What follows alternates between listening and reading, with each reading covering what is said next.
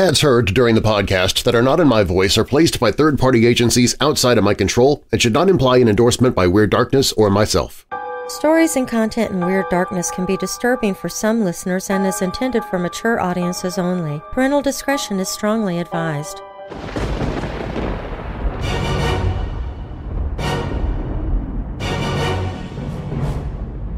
Welcome, Weirdos! I'm Darren Marlar, and this is Weird Darkness. Here you'll find stories of the paranormal, supernatural, legends, lore, the strange and bizarre, crime, conspiracy, mysterious, macabre, unsolved, and unexplained. Coming up in this episode… The Enfield poltergeist has become infamous thanks to Ed and Lorraine Warren and the Conjuring films – that took place in a house in Brimsdown, Enfield, London, England. But on the other side of the pond, there is an Enfield, Illinois. Not as well known as the one in England, of course, but they still have a horror in their past, one that took place four years before the Enfield incident in London, about a terrifying creature that locals who were alive at the time still get goosebumps talking about complex family dynamics and an infatuated businessman ended in a murder that was covered up and remained hidden for three decades, buried in the grounds of the house at 10324 Canyon Road. One girl decided to go by the name of Lila because her true name was Delilah, but she didn't want to be associated with that harlot in the Bible. The stories behind how people get nicknames can often be fascinating, so how do you suppose Margaret Dickson got tagged with the nickname of Half-Hang-It Maggie? The search for intelligent life in the universe has been a goal for decades, with everyone from NASA to SETI to backyard ufologists looking to the skies, listening to various radio waves, hoping to catch just a glimpse, at least a hint, of what we hope to find. But could it be that we're looking in the wrong place? Perhaps the extraterrestrial intelligence the more advanced life we seek to make contact with is not out there somewhere, but it is here somewhere, already on Earth. Too often we're let down by those whom we look up to, and that goes doubly so for those in religious authority. How many well-known religious figures have toppled over after being exalted on high by the followers they so skillfully misled? Jim Bakker, Robert Tilton, Ted Haggard, Jimmy Swaggart, but none compare to Major Thomas Weir, a strict Presbyterian known for his powerful prayers, earning him a reputation for being one of the most saintly men of his time. But then he made a confession so outlandish, so ghastly and profane, they executed him. But first, if you look in a mirror and say his name five times, he will appear behind you, complete with a hook for a hand – covered in blood because his hand has been cut off. Isn't that romantic? No? Well, Clive Barker's 1992 horror cult classic Candyman actually began as a real-life love story. So how did it turn so gruesome and terrifying? We begin there. If you're new here, welcome to the show. While you're listening, be sure to check out WeirdDarkness.com for merchandise, my newsletter, to enter contests, to connect with me on social media. Plus, you can visit the Hope in the Darkness page if you're struggling with depression or dark thoughts. You can find all of that and more at WeirdDarkness.com.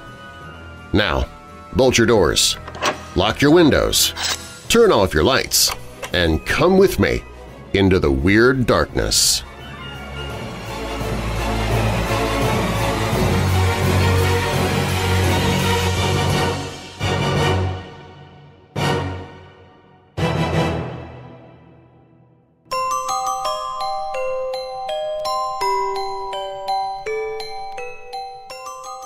His right hand has been sawn off. He has a bloody hook jammed in the stump, and if you look in the mirror and say his name five times, he'll appear behind you, breathing down your neck.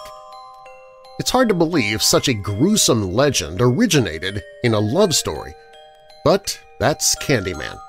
Played by actor Tony Todd, the antagonist of the eponymous 1992 film was another terrifying creation from the mind of Hellraiser's Clive Barker. When Candyman premiered, it was a breath of fresh air for both slashers and the horror genre in general. The titular slayer is no mutilated nightmare monster or silent masked maniac, but a statuesque, poetic, and even sympathetic phantom. The plot covers intriguing topics like the source of urban legends, issues of social class and race, and the truly terrifying question of whether belief has the ability to manifest the corporeal. These themes were interesting enough to keep the franchise going with three more installments spanning from the 90s all the way to the 2020s, and adding to this lore with every new film. But that lore can get a little convoluted along the way, especially the parts that are not chronological, so here let's lay it out for you as best we can far before the events of any of the films and before the Candyman legend even existed, there was a man of flesh and blood who was born in the 1800s. The first film doesn't name him, but does explain that his father was formerly enslaved and newly wealthy from his invention of a shoemaking machine at the tail end of the Civil War. With this money, he was able to send his son to the best schools in the country and give him a chance to grow up in polite society among the socialites of the day. Surprisingly, it wasn't actually until the second film, Farewell to the Flesh, that he got a name – Daniel Robitaille. The sequel fills in other details as well, having him born at Esplanade Plantation in New Orleans shortly after the end of the Civil War, meaning he was born either during or very shortly after 1865. Through his extensive education and travels, Daniel Robitaille not only became a charismatic and well-educated young man, but also discovered that he possessed a great talent for art, gaining him renown among the upper class. They'd seek him out, commissioning him to paint their portraits, which they would hang as status symbols. It was in this way he met Caroline Sullivan, the daughter of a wealthy landowner in the Cabrini Green area of Chicago, his name is never mentioned in any of the films, but the credits of Farewell to the Flesh identify him as Hayward Sullivan.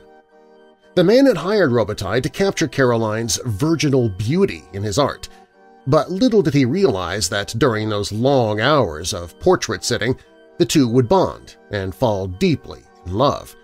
Eventually, Caroline became pregnant with Robitaille's child. Once Hayward realized his white daughter had formed a relationship with a black man, his hatred and racism came boiling to the surface. He hired a group of thugs to end the painter, as some neighbors joined the crowd to witness his doom. After a chase, his attackers cornered him, sawed off his hand with a rusty blade, slathered him in honey from the local apiary, and watched as angry bees followed and unleashed hell, endlessly stinging the man.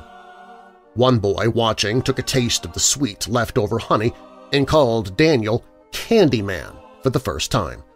The crowd followed, chanting the name mockingly. Just before he succumbed to the bee venom, Hayward joined in the taunting too, holding a mirror up to Daniel's mutilated face as Caroline was held back by the crowd, screaming through her tears.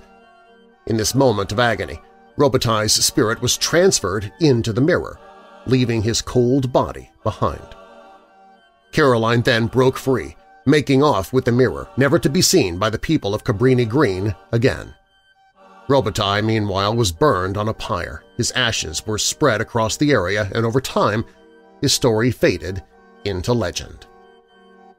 While many of her neighbors believed she had taken her own life or simply vanished out of shame, in reality Caroline ran away to the south, she ended up at Esplanade Plantation in New Orleans, the birthplace of her lost lover. Here she hid the last piece of him, the soul contained in the mirror. She also stayed and gave birth to his daughter Isabel, whom she raised as white. With her fair skin, the little girl easily passed, and the family line continued with no outsiders knowing its true lineage. In fact, the family itself eventually lost this knowledge – Within a few generations, Annie Tarrant, the protagonist of Farewell to the Flesh, was born and raised in this very house, with no clue that Isabel was her grandmother or Candyman her great-grandfather. When she later moved out, the house fell to ruin and vandals.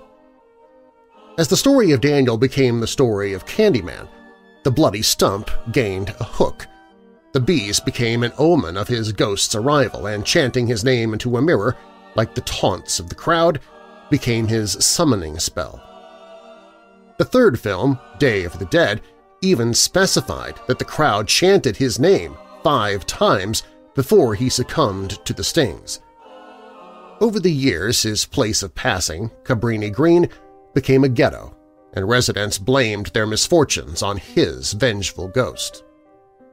Then, in 1992, after a particularly harsh year of 26 slayings in the area, his legend started to leak out to the rest of the world. Newspapers reported the latest slaying of one Ruthie Jean in great detail, noting how she called 911 to report a stranger coming through her bathroom mirror. It was her case that caught the attention of Helen Lyle, a graduate student writing her thesis on urban legends. This is the start of her first film. With a new focus on Candyman specifically, Helen's actions during her research ended up discrediting his existence.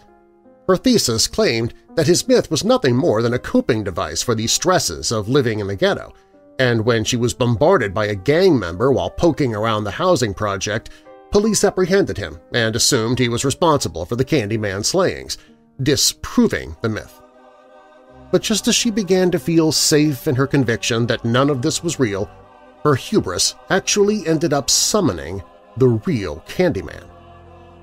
Candyman explains that he appeared to Helen because she discredited his legend, and now innocent blood must be shed to rebuild it.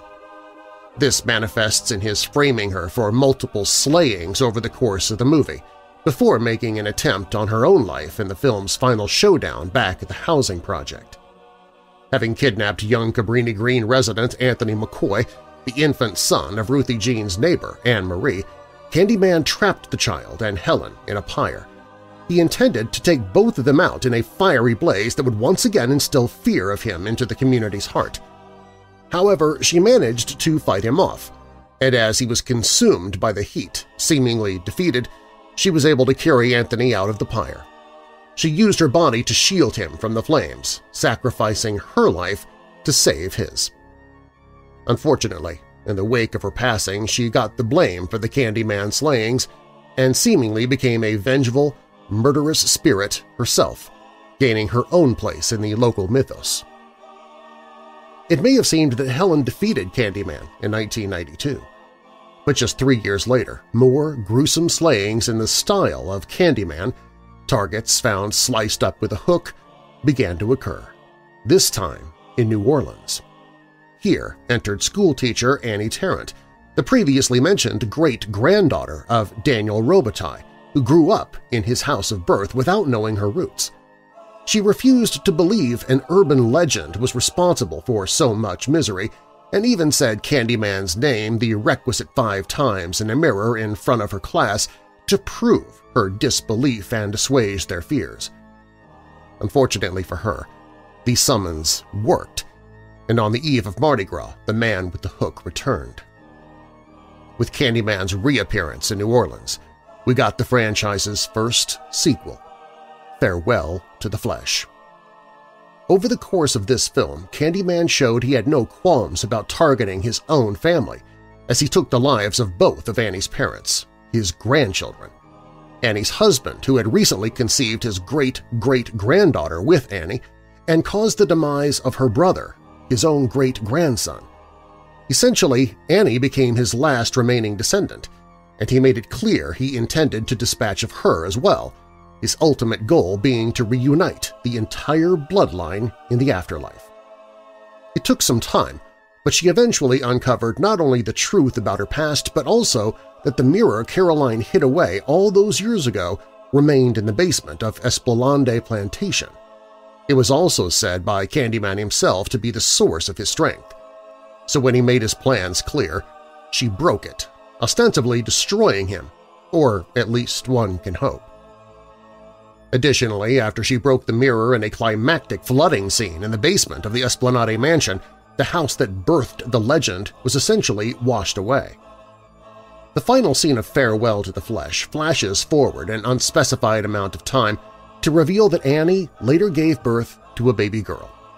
She looks to be around five years of age, so it could be estimated the year is somewhere around the year 2000. Annie named her Caroline, very likely after her great-great-grandmother, and even showed her pictures of her old family in a scrapbook, including images of Isabel, Caroline Sr., and Daniel Robitaille himself.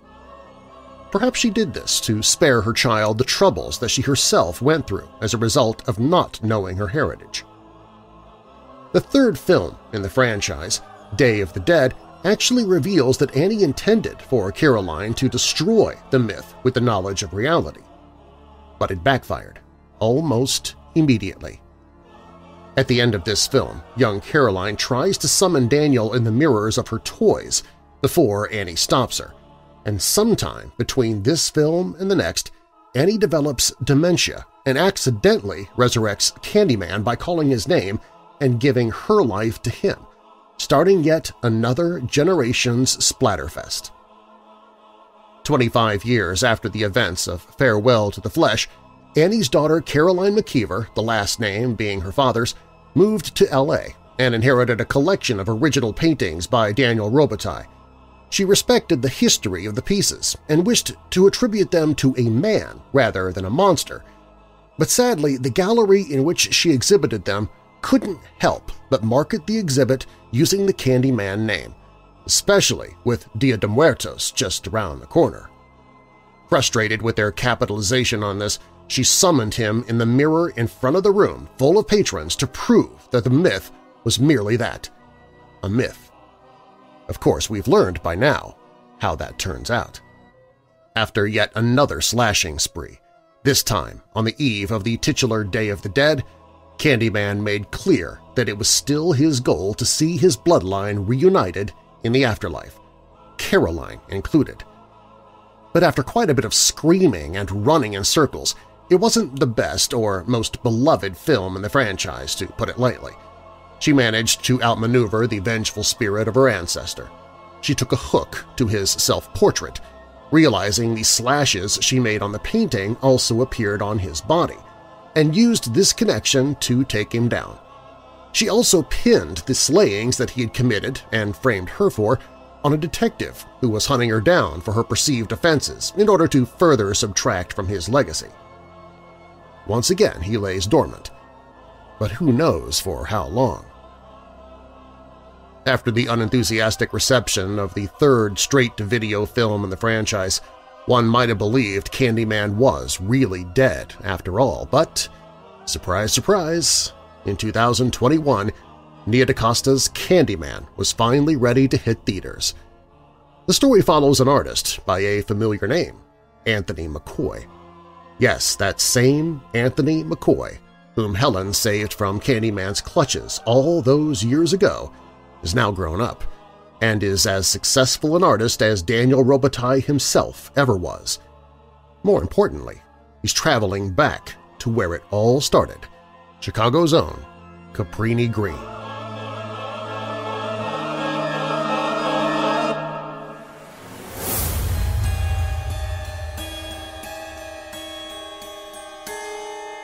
Coming up next on Weird Darkness, one girl decided to go by the name of Lila because her true name was Delilah, but she didn't want to be associated with that harlot in the Bible. The stories behind how people get nicknames can often be fascinating, funny, sometimes just downright strange. So how do you suppose Margaret Dickson got tagged with the nickname of Half-Hang-It Maggie?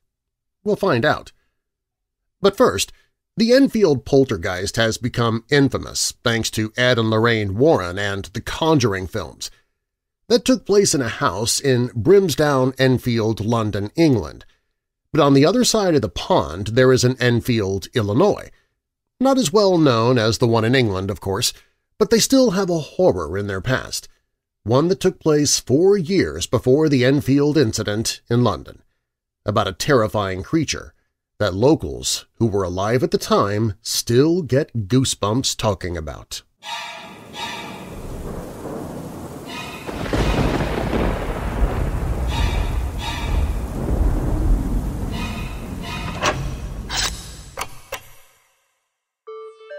In the near future, virtual reality games are indistinguishable from the real world. Players can take on the role of a star quarterback or rule as the king of a virtual kingdom. 13-year-old Jake prefers to spend his free time building Zaloria, a virtual world he created from scratch, where he and his two best friends, Des and Carrie, spend their afternoons completing quests and collecting treasure. However, all in Zaloria is not what Jake expected. When Jake discovers that the world he built is growing and changing on its own, he and his friends uncover a secret that could change the world forever. Jake and his friends must fight for survival when his virtual world takes on a mind of its own. Game Alive, a science fiction adventure novel by Trip Ellington, narrated by Darren Marlar. Hear a free sample on the audiobooks page at WeirdDarkness.com.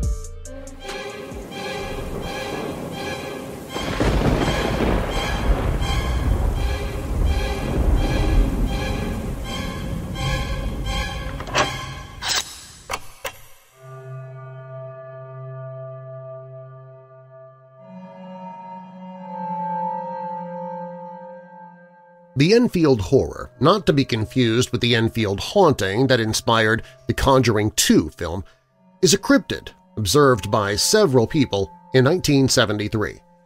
Also known as the Enfield Monster, this disturbing-looking beast makes its home in Enfield, Illinois. This tiny village boasts fewer than 600 residents today, a population drop of approximately 200 people since the beast made its first appearance. Perhaps what happened in Enfield back in the 70s was terrifying enough to convince people to move away and never come back. The beast's own appearance, as described by various witnesses, sounds like something most reasonable people seek to avoid at all costs. Several people saw the monster, although many discrepancies exist concerning its physical appearance. Regardless of exactly what it looks like, enough credible eyewitness accounts and evidence appears to back up the story. In other words, the Enfield horror just might be real instead of merely an urban legend, and may still be waiting in Illinois for intrepid travelers and cryptid enthusiasts. The physical description of the Enfield horror makes it sound like one of the world's oddest creatures, even among cryptids. According to eyewitnesses, the monster sports three legs, gray fur, huge pink eyes, two arms attached to the front of its body, and stands approximately four and a half feet tall. Additional reports state the beast's body resembles that of a monkey. At least one witness pointed out the body had a somewhat humanoid appearance. Despite its allegedly misshapen shape, the creature apparently boasts impressive speed and agility, and it screeches like a wildcat. Although later accounts claim the beast appeared 30 minutes before in Greg Garrett's backyard, Henry McDaniel was the first person to report seeing the Enfield horror. McDaniel's children told him of a creature scratching the house. When McDaniel went to investigate, he found himself face-to-face -face with the monster. Slamming the door as any sensible person would do, McDaniel ran to get his gun. Next, he opened the door again to discover the beast still scratching and hissing. Out of fear, McDaniel aimed the gun directly at the creature and fired several times. The Enfield monster responded by quickly leaping away. On April 25, 1973, the Enfield Horror decided to make contact with multiple humans. A 10-year-old boy, Greg Garrett, may have been the first. According to his original police statement, Garrett was playing outside when he encountered a vicious, hideous creature. The Enfield Horror, unafraid of the boy, approached Garrett, stepping on his feet in the process. Garrett stated the horror shredded his shoes, though police failed to find any tangible evidence in the family's yard. Later on, Garrett told researchers he never actually saw a monster and merely wanted to tease Henry McDaniel. One of the things keeping most cryptid stories from becoming verified or even seeming real is a complete and utter lack of physical evidence. The Enfield horror sightings, however, proved to be a different scenario. When police visited Henry McDaniel's house, they found unusual footprints with six toe pads along with some odd scratch marks on the house. This corroborated McDaniel's story that the beast tried to break into his home. Interestingly, the footprints appeared in a set of three, with one being smaller than the others. Surprisingly, even though McDaniel claimed the creature hailed from outer space, local police stated that he appeared rational and sober during his witness statement. This almost certainly went a long way toward convincing other local residents the monster actually existed. When you combine this with Greg Garrett's account, it's not hard to imagine how Enfield horror madness began to grip the tiny town. As a result, police ended up investigating many more areas where others allegedly saw the horror. The Enfield Horror must really see something great in Henry McDaniel's property. A mere 11 days later, the creature returned, and McDaniel saw it roaming the railroad tracks near his home. This appearance happened at 3 a.m., and McDaniel only witnessed it because the neighbor's dog was barking and it woke him up. This time he refrained from shooting at the monster and watched it instead. Eventually the Enfield monster ran off and McDaniel went back to sleep. After all the publicity that the Enfield horror received, three locals decided they wanted to find it, and WWKI news director Rick Rainbow joined them on the expedition. The foursome made their way to an old abandoned house where they reportedly spotted the creature. Rainbow claims he recorded the Enfield horror's blood-curdling howl that day. Unfortunately, I've not been able to find a recording of that anywhere online. The audio tape was later given to a cryptozoologist. Cryptozoologist Loren Coleman visited Enfield after hearing about the so-called monster. After listening to Rick Rainbow's alleged audio recording to the Enfield horror, Coleman went to Henry McDaniel's house and examined the remaining physical evidence. While at the McDaniels' home, Coleman heard what he described as strange, screeching, banshee-like sounds. The clawed-up sighting, the audio evidence, and what he heard with his own ears left the cryptozoologist wondering if the beast actually lived in Enfield instead of merely in the imagination of a few residents. A hunting party headed into the woods with the intention of finding and presumably shooting the Enfield horror. Though they failed to accomplish their goal, all five men claimed to have spotted something gray running away, causing them to open fire. Later, local police charged them with threatening public safety and hunting violations, with the sheriff disbelieving their reports about seeing the creature. As with any other cryptid story, many locals started looking for a rational way to explain an irrational situation. Some decided the Enfield Horror was a kangaroo, as a man did report losing one the year before. Others deduced the creature was nothing more than a wild ape. Additional guesses included a bear, a wildcat, or a large dog. On the completely irrational end of the spectrum, some claimed the Enfield horror was real and was actually an alien, a failed genetic experiment, or a demon. Do cryptids move or go on vacation like humans? If so, this might explain why stories of the Enfield horror began to disappear just as a new creature, the Mount Vernon monster, showed up in Virginia. People started hunting the Mount Vernon monster in 1979 after its muted but disturbing wail began startling local area residents.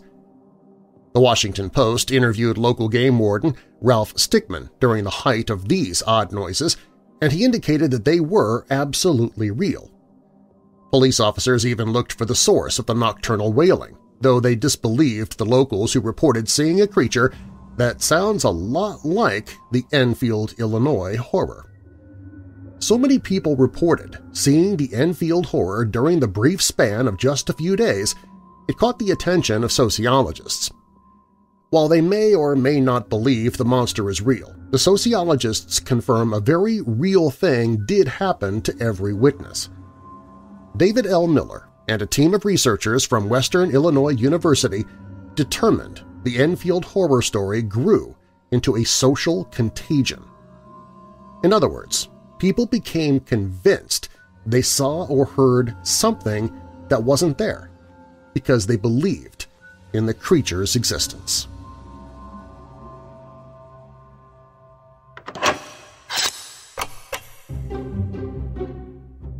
A boy had the same first name as his father and his grandfather.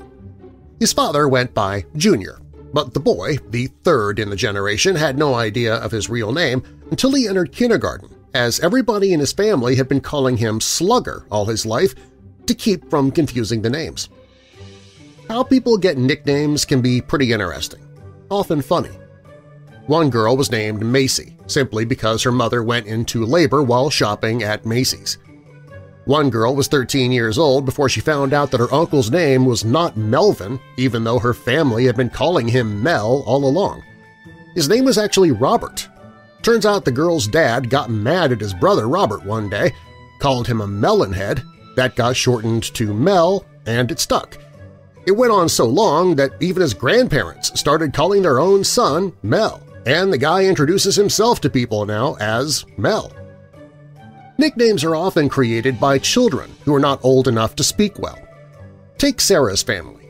She says, my daughter Evie was called Easy Peasy as a baby. My niece couldn't say Evie, she had a speech impediment and called her Easy. The Peasy just followed suit. The family calls my nephew Kebub. His name is Caleb, but my daughter, who is only a week older than him, started calling him Kebub around 18 months old because she couldn't say Caleb, and it stuck. But not all nicknames come to somebody in a humorous fashion. Take, for example, the case of Margaret Dickson, known later in her life as Half Hang It Maggie.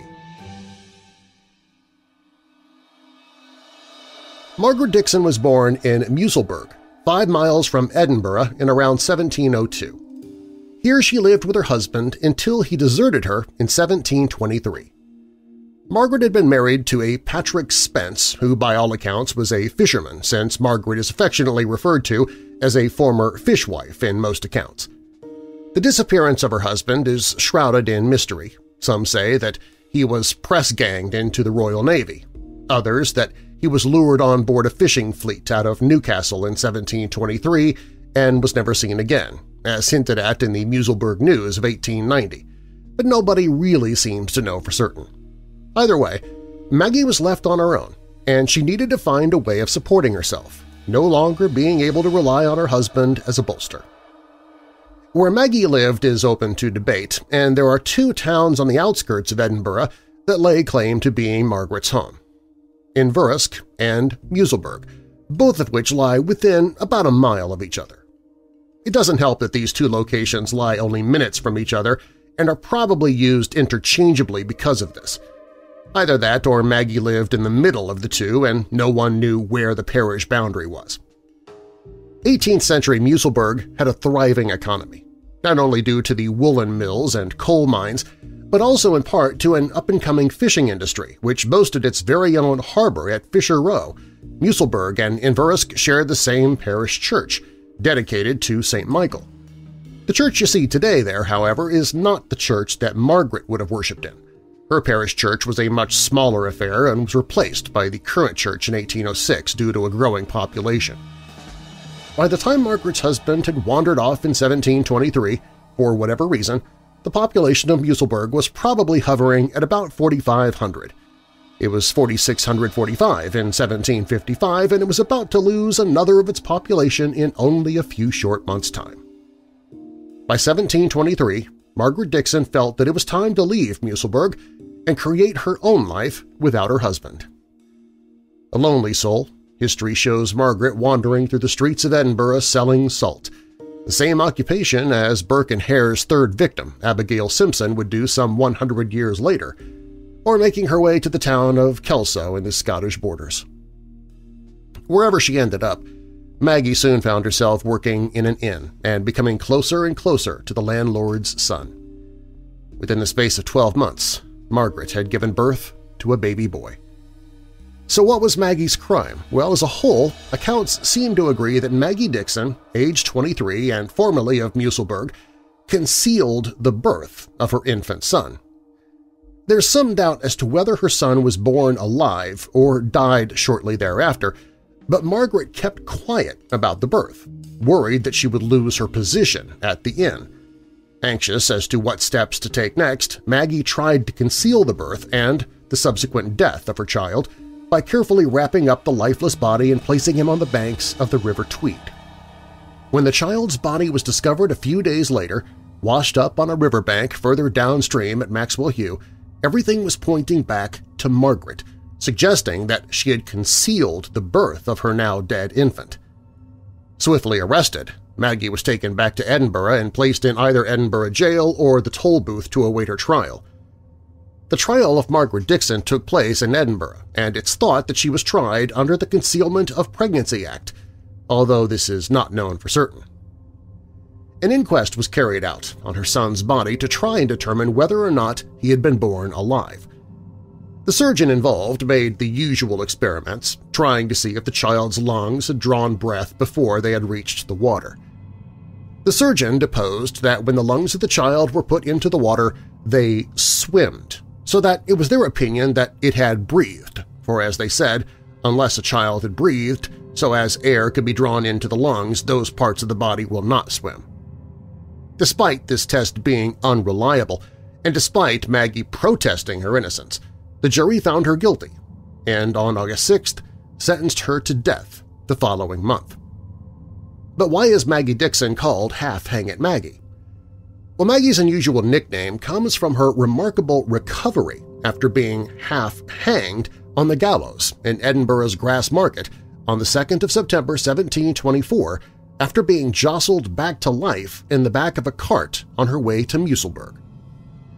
At the gallows on that September day, a few things are said to have occurred which could have possibly led to the failed hanging of Maggie Dickson. Before we go any further, however, a quick word about the dates of the event itself. There are numerous suggestions out there, some missing the mark by only a few days, others by a few years. The most outlandish suggestion, apart from the account in the book The Particulars of the Life, Trial, Character, and Behavior of Margaret Dickson, is that the trial took place in 1791, almost 30 years after Margaret's supposed death, her second death, that is, her, her final one. One of the main factors in her survival was perhaps to do with a conversation between Maggie and the hangman himself, Jock Dalgleish. Legend has it that the jock tied the noose just that little bit looser around Maggie's neck that day, just enough for her to get her fingers through and to stop it tightening around her throat. Whether the conversation took place in Maggie's cell before her execution or at the top of the ladder at which Maggie stood before she was pushed off is debatable, as is that fact whether a conversation ever happened at all. And so it was, with Maggie standing on a bucket or a ladder, it depends which version you read, with a noose around her neck, the hangman gave one quick shove and Maggie was launched into eternity. Well, nearly. What happened next was a scene all too familiar at the gallows in 18th-century Scotland. A rush of medical students, friends, and family made a beeline for Margaret's hanging body and all started to pull and tug at her legs. The reason for this was twofold. First, to hasten death.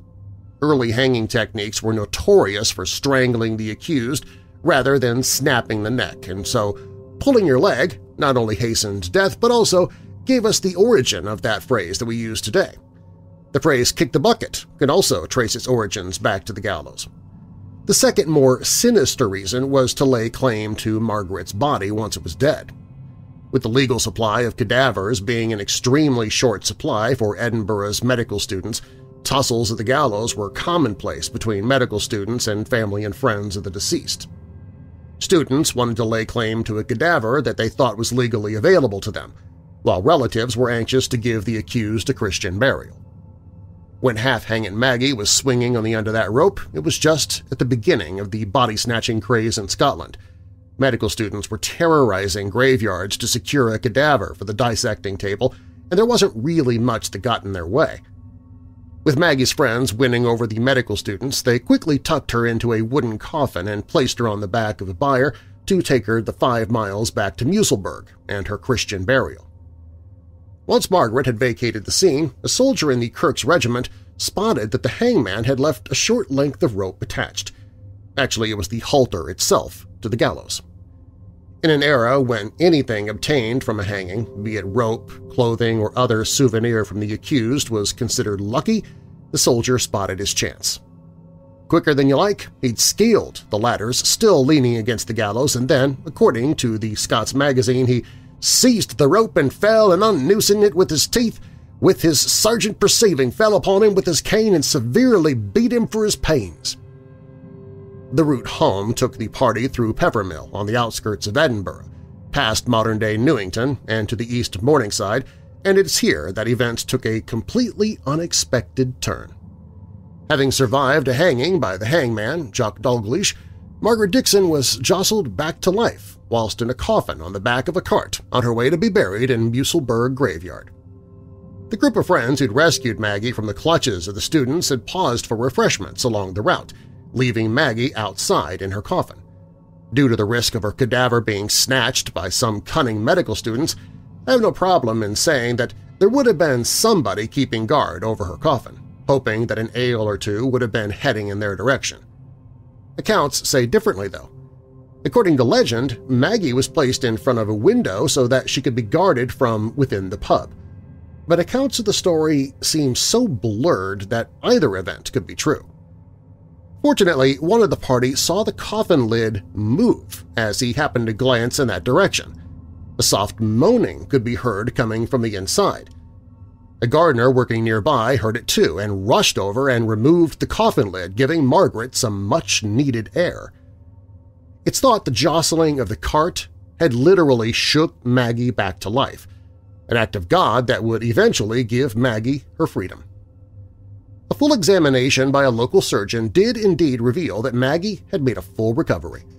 A lucky escape, some may say, and in less than an hour this remarkable woman who had just cheated death was allowed to walk. Yep, you heard that right.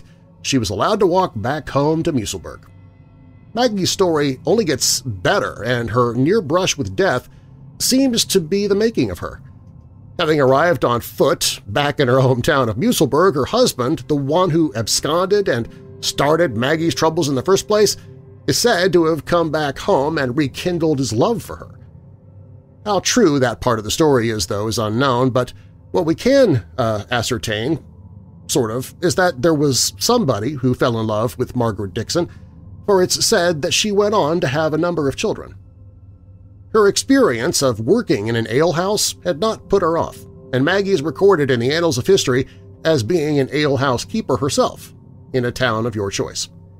Her name does live on, however, not only in the history books but also in bricks and mortar, opposite the very site where Maggie nearly met her end. The Maggie Dickson Pub, located in Edinburgh's Grassmarket, displays a plaque with Maggie's story written up outside for all to see. I think she'd be extremely delighted to know that her name now lives on in the heart of Edinburgh City, and that her story has made her an internet sensation and a tour guide's dream, and a great story for a podcast. Coming up, complex family dynamics and an infatuated businessman ended in a murder that was covered up and remained hidden for three decades, buried in the grounds of a house on Canyon Road. Plus, the search for intelligent life in the universe has been a goal of Earthlings for decades, with everybody from NASA to SETI to backyard ufologists looking to the skies, listening to various radio waves, hoping to catch just a glimpse, a little hint of what we're hoping to find out there. But could it be that we're looking in the wrong place? Maybe extraterrestrial intelligence, the more advanced life that we're looking to make contact with, isn't out there somewhere, but it's here somewhere, already on Earth. These stories and more when Weird Darkness returns.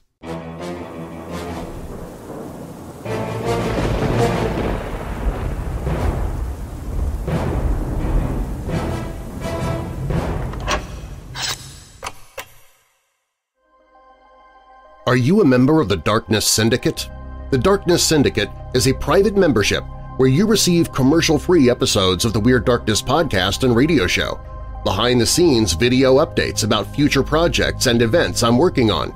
You can share your own opinions on ideas to help me decide upon Weird Darkness contests and events. You can hear audiobooks I'm narrating before even the publishers or authors get to hear them. You also receive bonus audio of other projects I'm working on outside of Weird Darkness. You get all of these benefits and more starting at only $5 per month. Join the Weird Darkness Syndicate at WeirdDarkness.com slash syndicate. That's WeirdDarkness.com slash syndicate.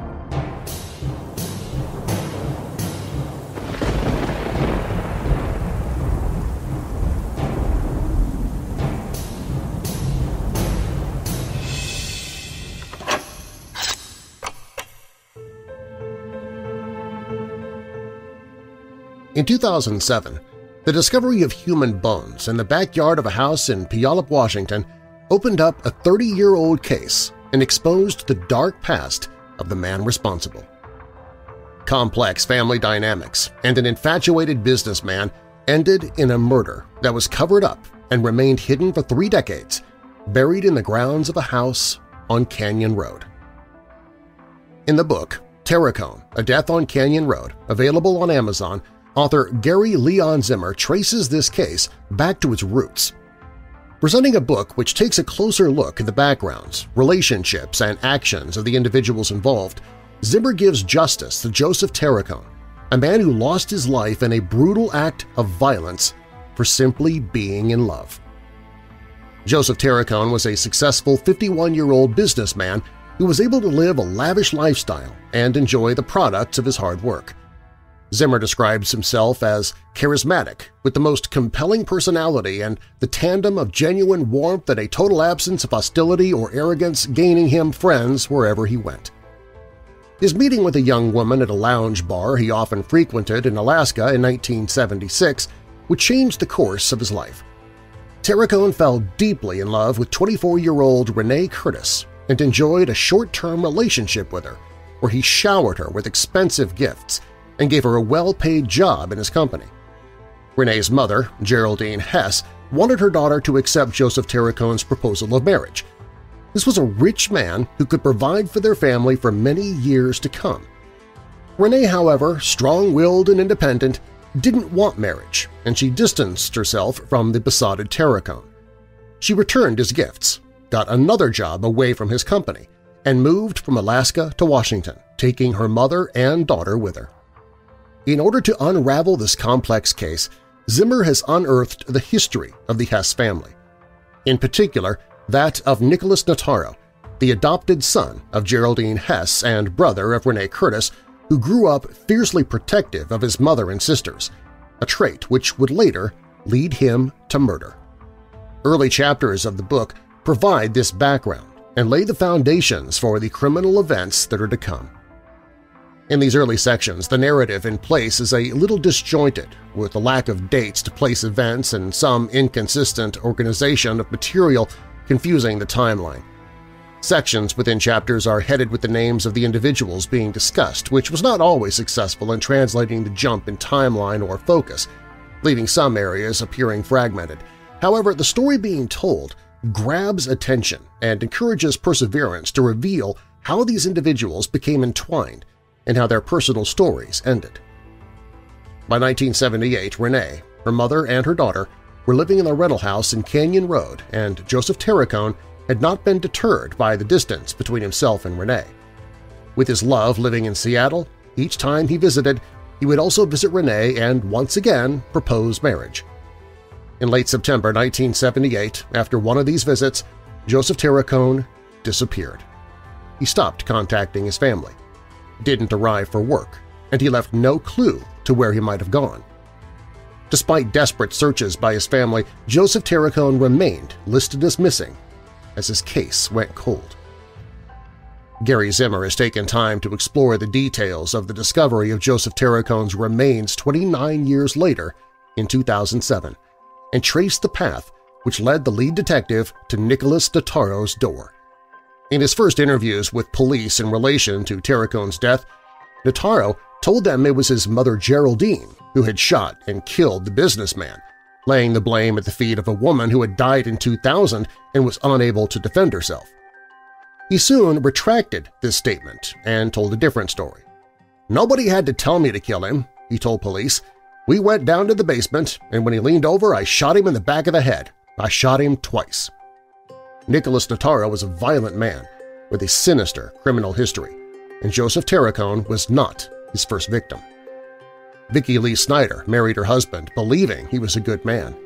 he repaid her with two gunshots just 10 days before he used the same gun to take the life of Joseph Tarracone. By the time he was connected to Tarracone's murder, he'd spent seven years in jail for the murder of his wife, Vicki Lee, and faced two criminal trials relating to child sexual abuse. Part 3 of the Tarracone book is where it really comes into its own. Charting the criminal murder trials of both Nicholas Notaro and his sister Renee Curtis, Zimmer's writing is engaging with a much more natural flow as the trial plays out in blow-by-blow -blow detail. Gary Zimmer attended both trials, and he's able to provide accurate details of both the proceedings and the legal questions which were being examined.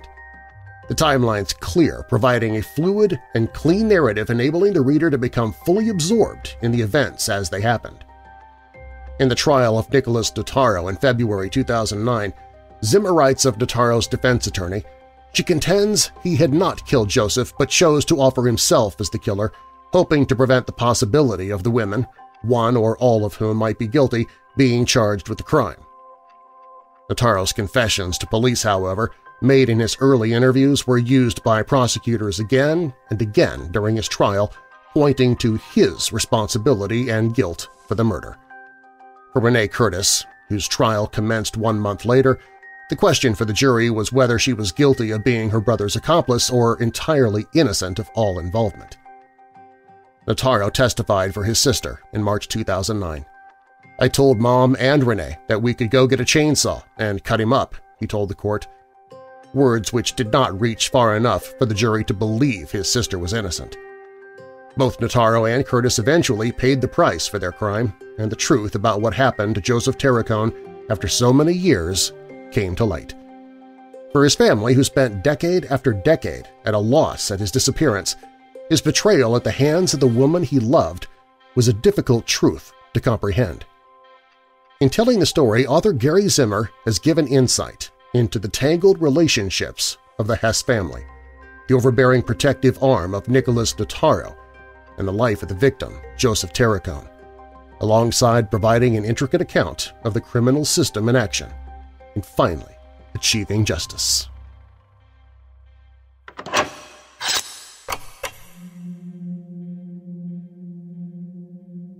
Unidentified Flying Objects UFOs, now known as Unidentified Aerial Phenomenon UAVs, have recently become a big topic of public discussion. These are objects that have been photographed, videotaped, tracked by radar, and spotted by high-ranking military personnel as well as civilians on the ground and in the air. These objects maneuver and move at speeds that no known man-made machine is capable of, they truly challenge our understanding of aerodynamics and, in some cases, physics. The next question that may arise is, are those operating these ships human or something else? Based on years of research, we can say that there is strong evidence that these objects are real. Even though they were considered a conspiracy theory for many years, there is now strong evidence that these objects are not made by humans. As for credible sources supporting that idea, Colonel Robert Friend, in his last interview before his death, who was director of Project Blue Book from 1958 to 1962, suggested that the U.S. Air Force already knew then what the objects were. Lou Elizondo, former director of the Pentagon's UFO program, recently gave an interview to the New York Post in which he said that he had a meeting with a very high-ranking Defense Department official who mentioned that he knew these ships were not of human origin. Former Air Force Colonel Ross Dedrickson also claimed to have information that these objects were not made by humans, and to his knowledge, these beings are benevolent and concerned for the welfare of our planet. I realize that not all people will consider these sources to be credible evidence.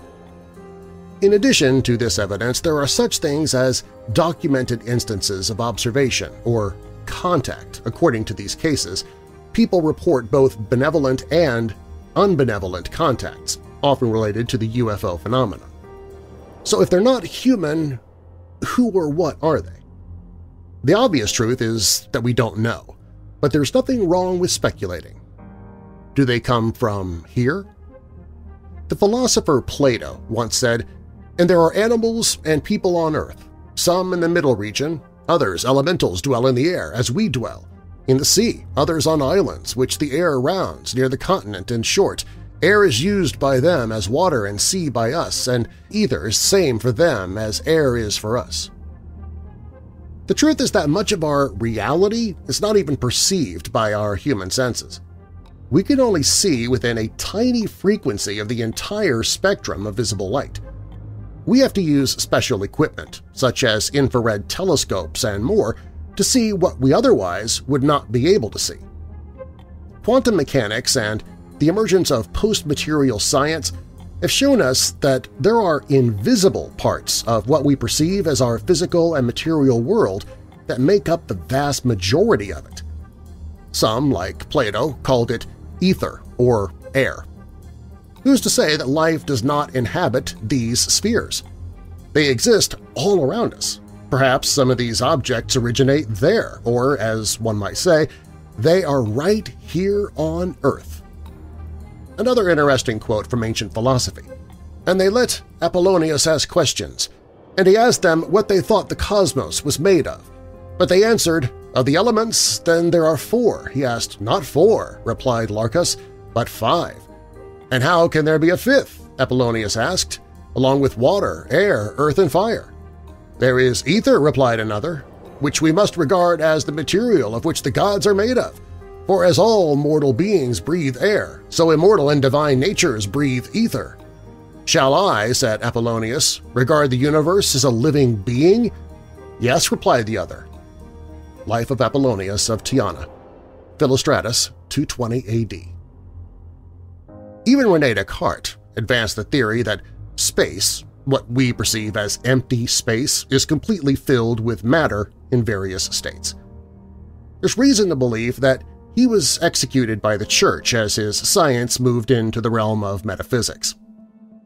Many ancient cultures have stories and texts that mention magical and mythical lands that coexist with our reality. Whether these places are real physical places or places in another dimension, for lack of a better term, has been the subject of much debate in various materials over the centuries. These stories can be found in ancient Buddhism and Vedic philosophy, as well as in oral histories passed down from indigenous peoples around the world. According to Paracelsus, the German-Swiss physician and alchemist, like Isaac Newton, who established the role of chemistry in medicine, in his Philosophia Occulta, translated by Franz Hartmann, man lives in the outer elements, and the elements live in the inner elements, the latter have their dwellings and clothing, their manners and customs, their languages and their own governments, in the same sense as bees have their queens and animal herds have their leaders. The Secret Teachings of All Ages, an encyclopedic outline of Masonic, Hermetic, Kabbalistic, and Rosicrucian symbolical philosophy, 1928, Manly P. Hall. It's also interesting that these objects are often observed entering and exiting the oceans. Sometimes when they fly away, they do not seem to fly away but rather to dematerialize. At other times they take off with enormous speed. The point is that there could be many different explanations for this, and there's the possibility that not all objects come from the same source. This really calls into question what we think we know about the nature of reality. And it seems to me that we are now at an important moment to ask this curious question. Remember that there was a time when scientists like Galileo were condemned for the discoveries they made and the ideas that they expounded. Are we really any different today? How open are our minds to concepts of reality that don't fit within the existing framework of accepted knowledge? It has often occurred to me that topics such as UFOs must be presented in the mainstream media before most will accept them as normal. UFO footage must be verified by government experts so that the masses understand that these objects are indeed real. Less than a decade ago, the evidence for the existence of these objects was already very strong, and yet the common people must be informed by the government or the mainstream media before the general public can understand that these are real. Does this underscore how much humanity has come to rely on these sources of information? What are the implications of this? As with many geopolitical issues, it's difficult to trust the mainstream media or the government to get an accurate picture of what is really going on. This is why it worries me that so many people rely on these sources when it comes to honest descriptions of the UFO phenomenon. Perhaps this phenomenon requires a civic initiative. One thing to address with critical thinking is a government's suspicion that these objects are of another government's origin. They'll portray these objects as a threat, even though the vast majority of the time these objects are making evasive maneuvers to avoid our planes. It seems that we're the ones chasing them. At the moment, all information concerning UFOs and the presence of extraterrestrial or other life on our planet continues to be presented as something crazy and inherent only to people in tinfoil hats. And this is even in spite of the fact that the military department of the strongest country in the world, the United States, has publicly acknowledged the reality of UFOs and actually voiced the main idea – these flying machines do not belong to mankind. But the U.S. continues to manipulate this topic acknowledging the reality of UFOs and immediately suggesting that it may be technology from China or Russia. No one believes this, but all the mainstream media broadcast this idea to the masses, and the masses are ready for the military to increase defense spending. The U.S. is not using the UFO theme to expose the truth, but simply to achieve its political goals. But even so, the U.S. had the courage to admit the existence of UFOs and the presence of extraterrestrial vehicles on our planet. In contrast to all the other major countries in which the subject of UFOs continues to be ridiculed in spite of the huge amount of factual evidence.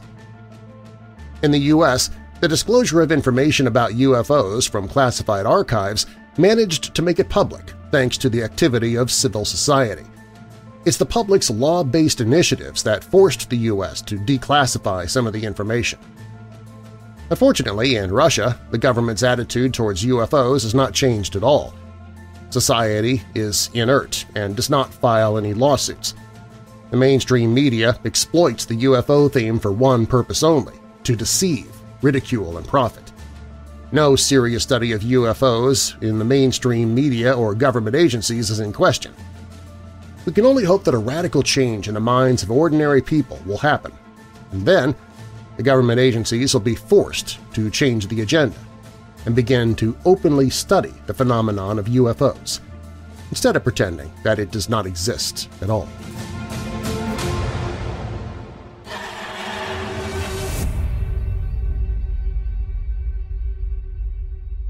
When Weird Darkness returns, too often we're let down by those whom we look up to, and that goes doubly so for those in religious authority. How many well-known religious figures have toppled over after being exalted on high by the followers they so skillfully misled? Jim Bakker, Robert Tilton, Ted Haggard, Jimmy Swaggart, but none compared to Major Thomas Weir, a strict Presbyterian known for his powerful prayers, earning him a reputation for being one of the most saintly men of his time. But then he made a confession so outlandish, so ghastly and profane, they executed him. That story is up next.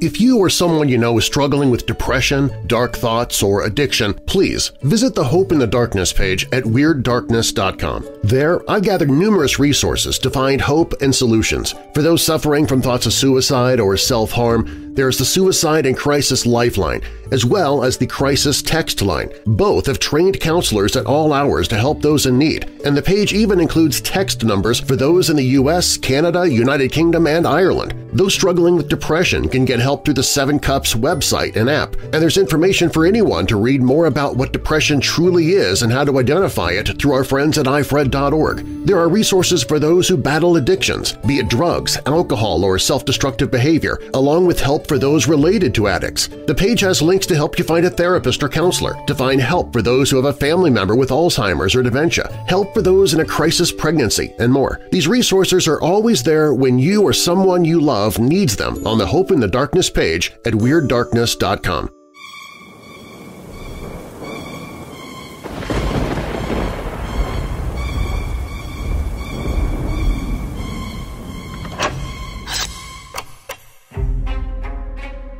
In the 17th century, there were two rules for being a warlock.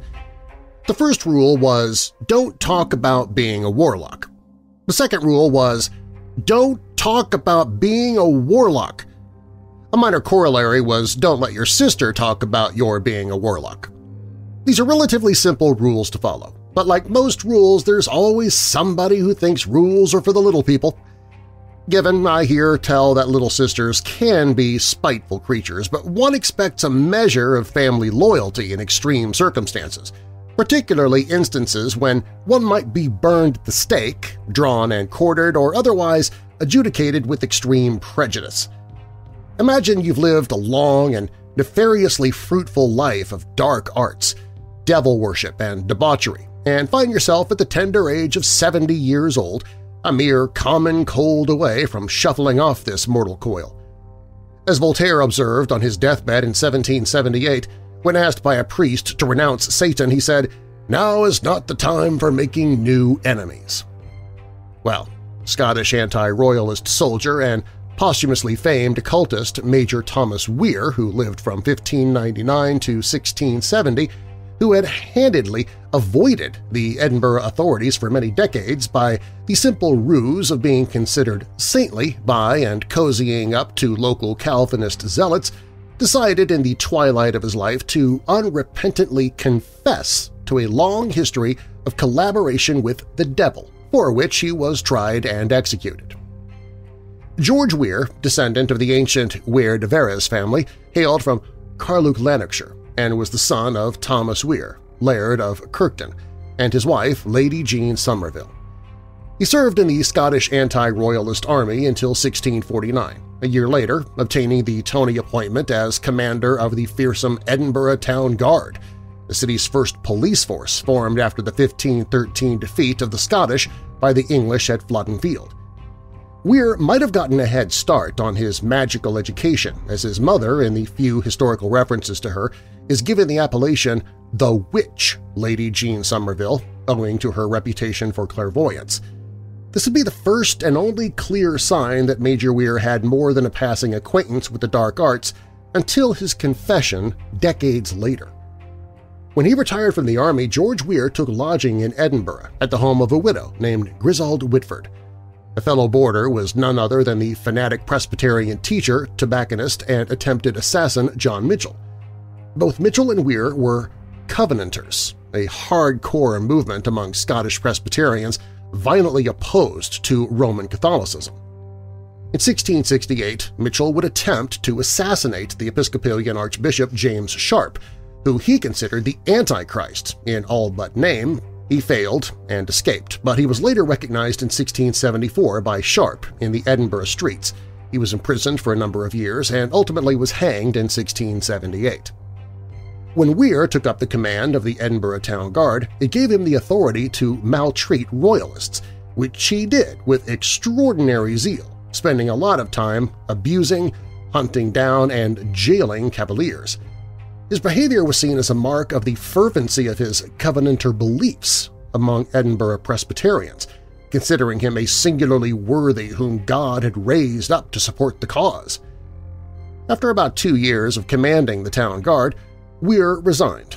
Some say he was dismissed, but the guard's records don't go back that far, and he settled along with his sister Jean Weir in the west bow of Edinburgh's High Street. Prominent in any plan of older Edinburgh is the crooked line of the West Bow, which ran abruptly down from the head of the High Street, whence it formed the main thoroughfare to the Grass Market in the Valley of the South. Of this curious zigzag descent, which is said to have been one of the most ancient and characteristic streets in the old town, naught but the name had escaped the improving mania of our forefathers. The bow was long, the peculiar domain of the white or tinsmiths, and so godly was the repute of its indwellers at the time of which we write that they had earned for themselves the title of the Bowhead Saints. The denizens of this favored quarter must have hailed with holy joy the arrival among them of Major Weir, when, on the unascertained date, he withdrew his patronage from the dubious widow of the Cowgate and pitched his tent within the sanctified bends of the bow. While he never endeavored to officially preach, no gathering of the Bowhead Saints was considered complete without his presence. folks would seek him out in order to have him pray with them and reverenced him as Angelical Thomas. He wandered about Edinburgh dressed in black clothes and a black cloak with his later infamous staff, the significance of which would only be appreciated after his confession. There were rumors that Weir indulged in unspecified vices, but these were never enumerated and largely ignored, since he was regarded as a holy man. In the early spring of 1670, as Weir's health began failing, he appeared before a Presbyterian congregation which included a conventicle minister or Ormiston and brother of Scottish mathematician, engineer, and demonologist George Sinclair, author of Satan's Invisible World. He began unprompted his confession to a life of mortal sin, wizardry, and compacts with the devil. And at first nobody believed him and attributed his confessional ramblings to delirium induced by his failing health. In 1670, the Major was between 70 and 76, and a few quiet and safe years seemed his certain portion before he went to his honored rest. Presently, Edinburgh was startled by the report that he had confessed himself guilty of horrible and loathsome crimes and had with terrible cryings and roarings demanded condign punishment. The affair seemed so incredible that he was judged out of his senses, a theory still in favor with skeptical inquirers of today. Sir James Ramsay, then provost, sent physicians to report. His own sect also visited him, and horrid certainty gained ground that the confessions were substantially true. So reverently was Thomas Weir regarded that he wasn't even initially believed when he confessed, and he was more or less regarded as a lunatic. For several months his confession was hidden from the public at large, attributed to his broken spirit as he faced his own impending death by natural causes. And if it wasn't for his meddling sister, Jean Weir, he would have gotten away with it too. When a physician examined him and found him to be mentally sound, and his sister, whom he had implicated in his confession, then came forward and began to detail a litany of sorcerous activity and moral depravity on the part of her brother, both the temporal and ecclesiastical authorities took notice. The Edinburgh Lord Provost sent the city guard to arrest Thomas and Jean Weir, locking them up in the Tolbooth prison. At the time of their arrest, Jean beseeched the guard to secure Weir's staff, declaring it magical. Since his initial confession, Major Weir had become introverted, obdurate, and generally unrepentant. On Saturday, April 9, 1670, the Weirs were brought before the Justice Court and tried together on separate indictments including incest, bestiality, and witchcraft. Jean Weir had a lot to say. She had inherited, she said, her witchcraft from her mother, together with an unholy mark upon her brow which she exhibited to the ministers then present. She put back her headdress and, seeming to frown, there was been an exact horseshoe shape for nails in her wrinkles. Terrible enough, I assure you, to the stoutest beholder, said an eyewitness.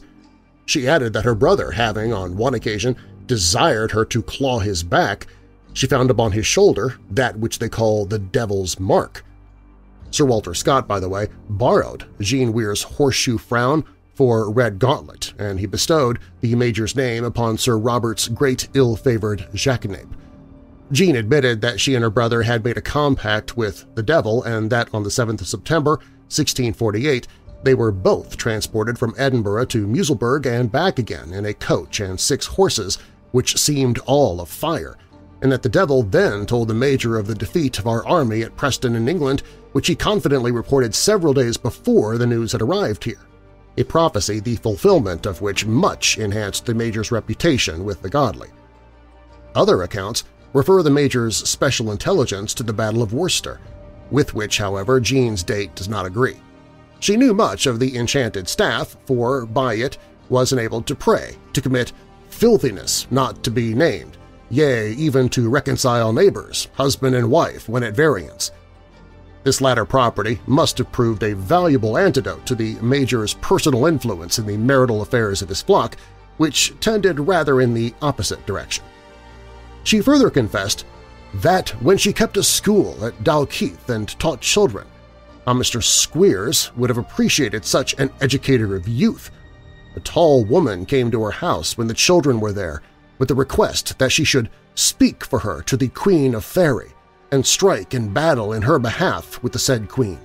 This royal lady is that very Mab, who, under the style and title of Queen of Elphame, figures for the first time in our criminal records at the trial of Alison Pearson for witchcraft on 15th May 1588. Next day a little woman came who gave the schoolmistress a piece of a tree or root, telling her that as long as she kept it, she would be able to do what she should desire. After certain necromantic ceremonies, not the least important of which was the delivery to her visitant of all the silver she had, the woman departed, and Jean, sitting down to her spinning wheel, did find more yarn upon her spindle and good yarn nor than she thought could be spun in so short a time. Yet despite this miraculous gift, the devil cheated her after all, as she did the major, for her weaver could not make cloth thereof, the yarn breaking or falling from the loom.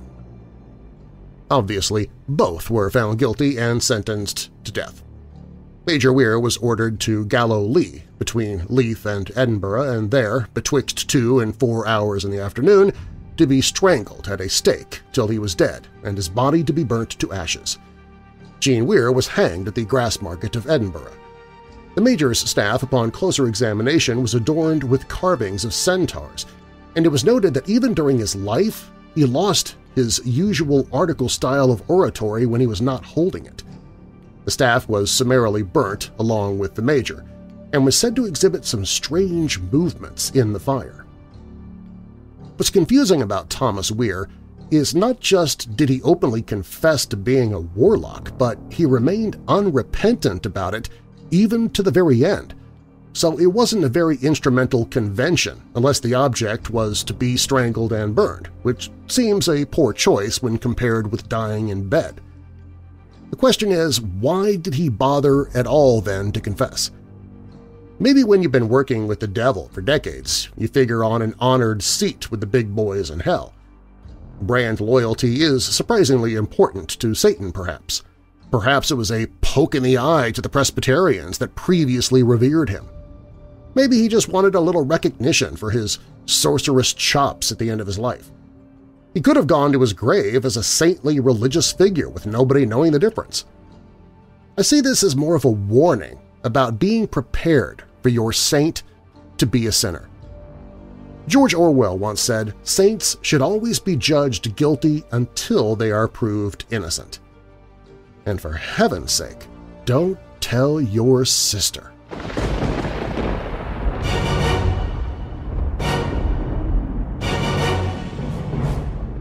Thanks for listening.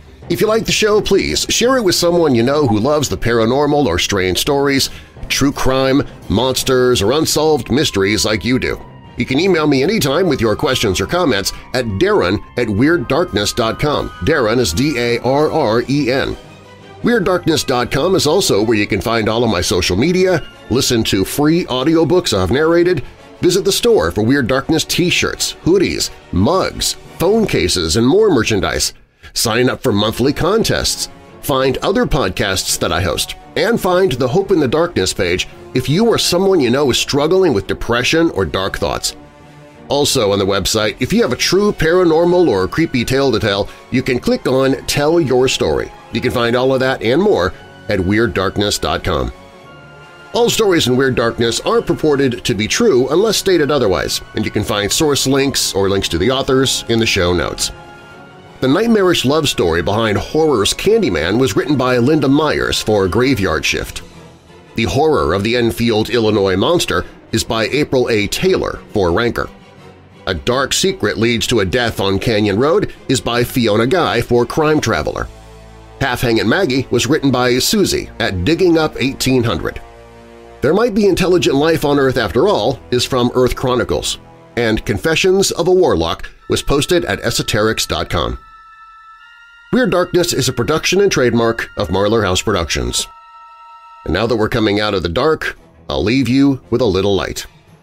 2 Samuel 22 verse 29 You, Lord, are my lamp. The Lord turns my darkness into light. And a final thought. You can destroy your now by worrying about tomorrow. Janis Joplin. I'm Darren Marlar. Thanks for joining me in the Weird Darkness.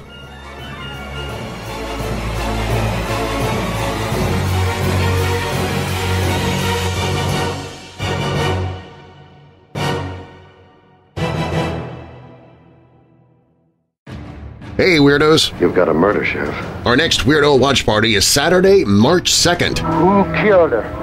With wild dogs, boy. This couldn't be done by a human person. We'll be spending two hours with Hexen Arcane, sisters Morgan and Celeste Parker.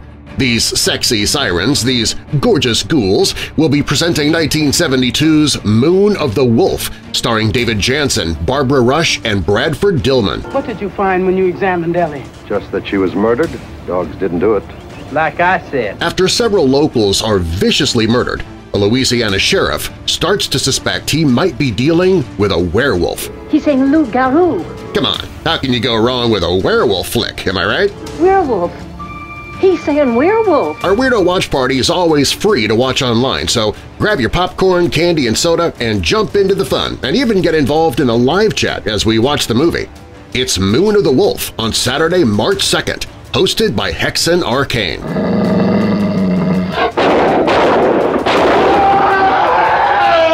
The show begins at 10 p.m. Eastern, 9 p.m. Central, 8 p.m. Mountain, and 7 p.m. Pacific. You can watch a trailer for the film and watch horror hosts and schlocky B-movies anytime, day or night on the Weirdo Watch Party page at WeirdDarkness.com. He says that I'm its next victim. Hope to see you March 2nd.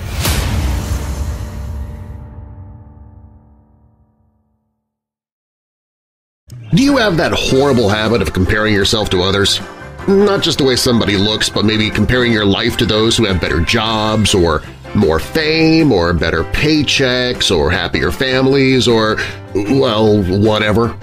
You're not alone, I do it too. But we're doing ourselves a disservice when we compare ourselves to others. In fact, doing so is holding us back from what could truly be a great life. That's the message in this week's Church of the Undead. Listen to it now by visiting WeirdDarkness.com slash church. That's WeirdDarkness.com slash church.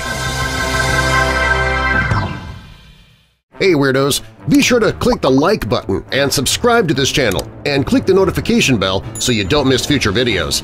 I post videos seven days a week. And while you're at it, spread the darkness by sharing this video with someone you know who loves all things strange and macabre. If you want to listen to the podcast, you can find it at WeirdDarkness.com slash listen.